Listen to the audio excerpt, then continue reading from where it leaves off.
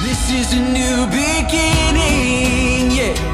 This is just the start. We won't forget this feeling.